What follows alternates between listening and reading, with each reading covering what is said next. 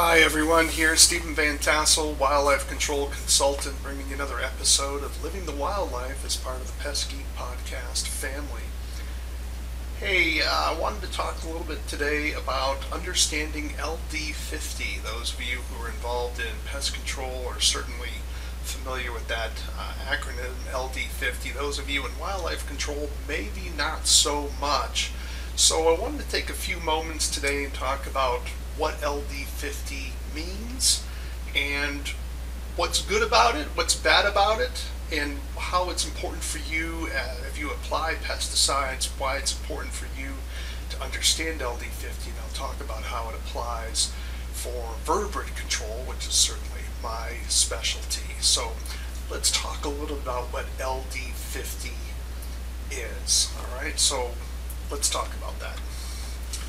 So the first thing you want to, whoops, let me go back up here a little bit. Let's talk about how the research is done. So LD50 refers to lethal dose 50%.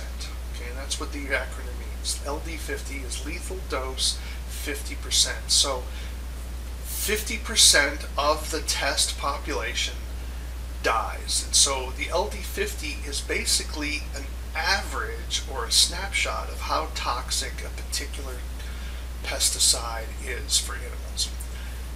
So whenever they're doing pesticidal research, the EPA requires that that pesticide be tested on various organisms. So LD50 can be used on insects, it can be used on plants, it can be used on animals. so there are two different ways to perform that research. One type of research is called acute feeding. So acute feeding is where you take the, take the toxin and you force it into the animal's mouth, or in some cases they can actually have the animal feed on their own. But you're trying to find out how much toxicant an animal has to eat in one dose to die, or at least 50% of the target population to die. Now, how large are these toxic these populations? Well, the researchers may have anywhere from 20 to 40 animals, perhaps. Uh, depends on the type, that, on how rigorous they're performing their research. But you're looking at about 20. So when they feed these animals, once they get a dose where 50% of the population dies, then that is the LD50. And they then calculate that on the basis of milligrams per kilogram. Now, a kilogram is about 2.2 pounds, and a milligram is one millionth of a kilogram. So we're talking about very small amounts of poison to kill animals. So when we're dealing with, uh, let's say, an animal as big as a, a rat, for instance, a rat often weighs around, you know, 12 to 16 ounces maybe a little bit more than a pound, but a pound is that's starting to become a big rat. That is less than half of a kilogram. A kilogram is 2.2 pounds. So when we so when they say let's say 8 milligrams of this toxicant is needed to for at, to kill an animal that weighs 2.2 pounds, you're really talking about something that's more like 4 milligrams to kill that rat. That's 50% of the population. So that's again acute dosing method. All LD50 exercises or all LD50 tests are done with acute poisoning. How much is needed to kill that animal with one dose, whatever that dose size may be. Now, another study that can be done with toxicology. Toxicology is the study of poisonous materials. Is what's called a subacute, and this is how you're feeding an animal a little bit over time. A little bit today, a little bit more tomorrow, a little bit more the next day, and you're looking at what the longer term effects or how many times an animal has to feed on something in smaller doses to ultimately kill it. That is also important research. However, most toxicants have not been studied that way. More, most toxicants are studied with the LD50 under the acute poisoning. Now you may say, well, Stephen, what's the big deal? I really don't care. Well, it matters because some poisons are actually more deadly when you take a little bit at a time over days. So, in other words, when we're dealing with something like a first generation anticoagulant, now if you know first generation anticoagulants, those are warfarin, chlorophacinone, diphacinone. Those toxicants are actually more toxic if you take a little bit each day than if you took all that material in one day. I know it's counterintuitive. You say, well, Stephen, why wouldn't it be more poisonous to take more at once? I would suspect part of that is how the body processes it. But when you give the body a little bit today, let me put some con- make, put this in concrete. Let's say the LD50 of chlorophacinone. And don't take this as gospel. I'm just using it as a, a fake illustration. Okay. So let's say we have chlorophacinone, and let's say the LD50 for a rat is eight milligrams per kilogram to kill a rat. You feed a rat what, what we said earlier, four milligrams because it doesn't weigh a pound. It doesn't weigh 2.2 pounds. We can only give it four milligrams. 50% of those rats are going to die if you give it four milligrams all at once. Okay, fair enough? With the subacute, with the way first generation anticoagulants work, if you gave the toxicant to that rat one milligram on day one, another milligram on day two, and a third milligram on day three, you would probably get a 50% mortality in those rats. But notice we didn't even reach the 4 milligram of the LD50. It was only 3 milligrams that we gave the rats. So we could actually use less toxicant and still have the same LD50 effect. A lot of people don't, a lot of pest controllers I've noticed don't understand that when we say that when we're looking at the multiple feed first generation anticoagulants, they're actually more toxic over time than if you ate it all at once. So don't think for one minute that your second generation anticoagulants are automatically more effective just because they're single dose anticoagulants.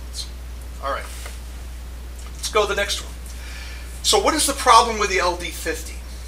Well, as I said before, an LD50 is what is the dose necessary to kill 50% of the test population. So, what that means is only 50% of the rats die, which therefore means 50% of the rats live. So, understand that when you have an L, when you're trying to compare toxicant A with toxicant B, we're we're still getting to an effect of there's other 50% of those animals are going to live in both in both studies because the LD50 is only an average. It's a way of averaging out so we can compare how how toxic toxicant A is compared to toxicant B. How do we tell whether one LD50 is more one product is more toxic than another? Well, by looking at the LD50, because again, they're always written in milligrams per kilogram. How many milligrams of toxicant per how many kilograms of animal?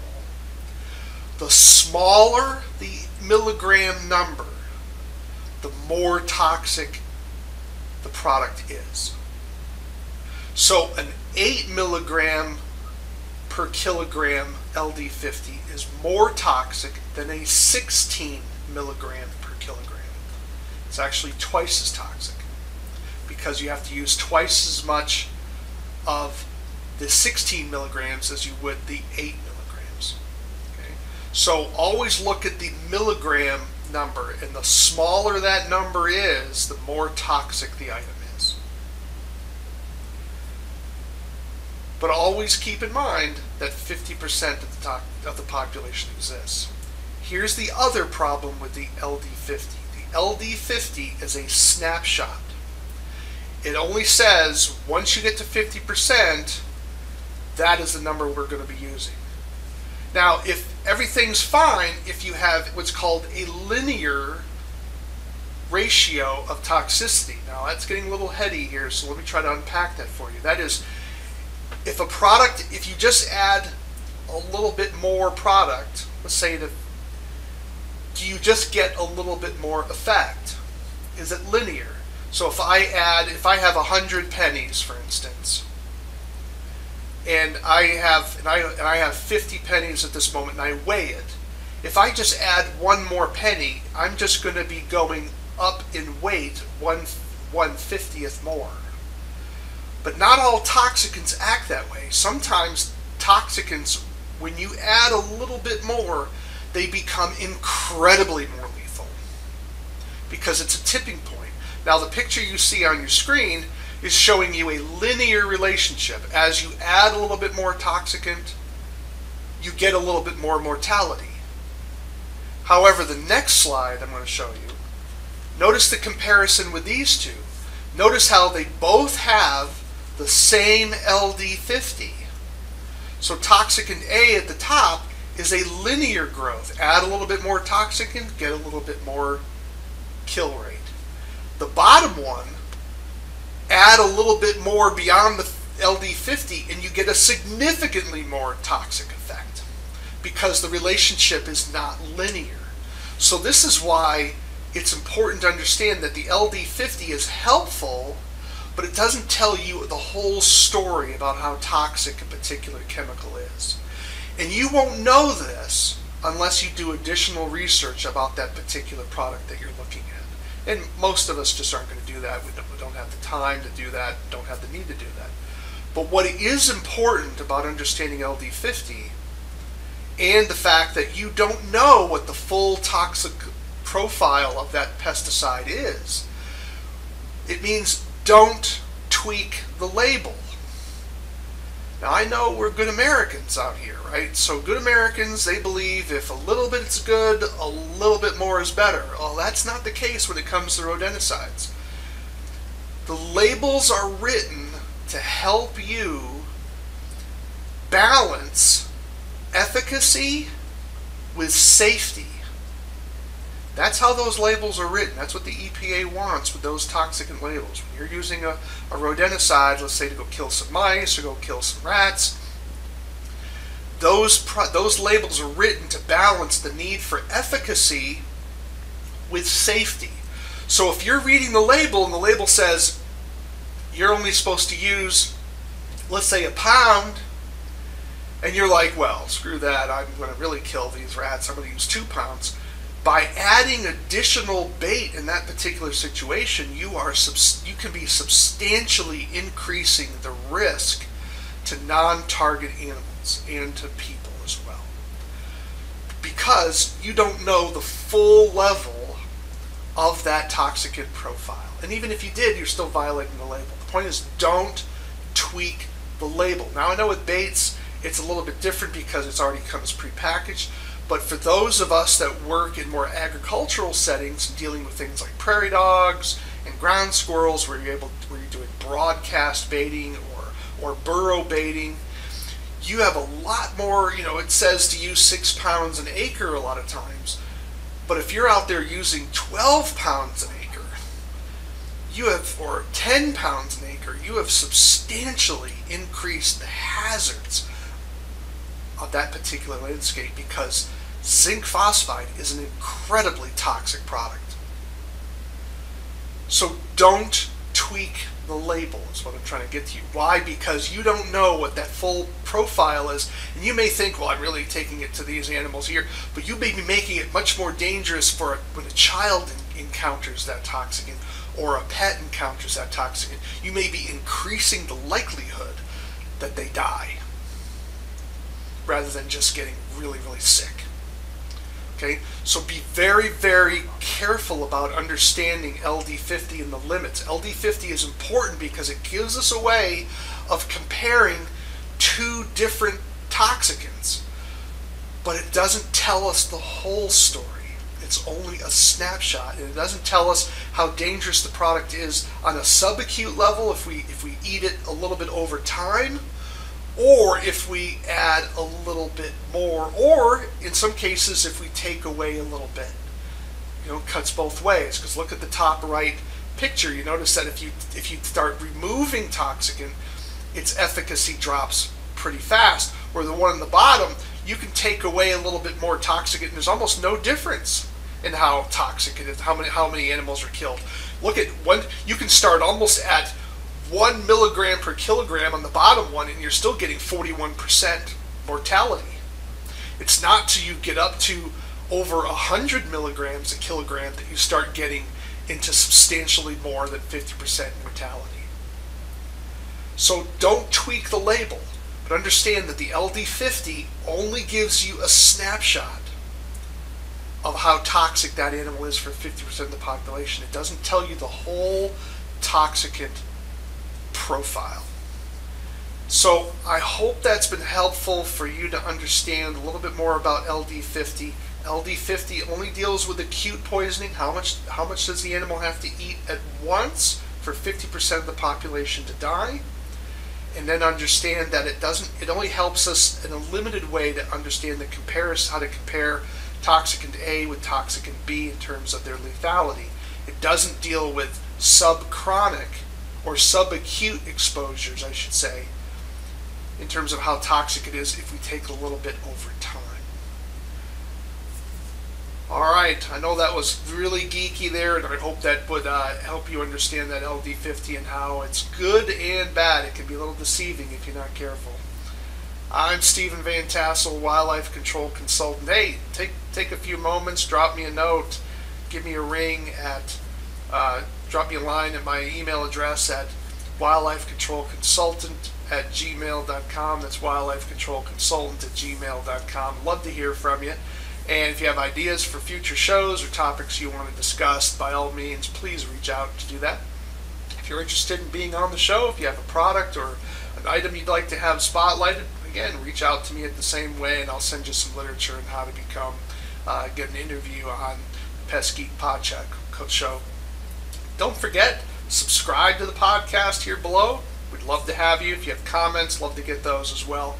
And then always remember, we're here to help you live the wildlife, not be the wildlife. I'm Stephen Vantassel for Wildlife Control Consultant. Take care, everybody.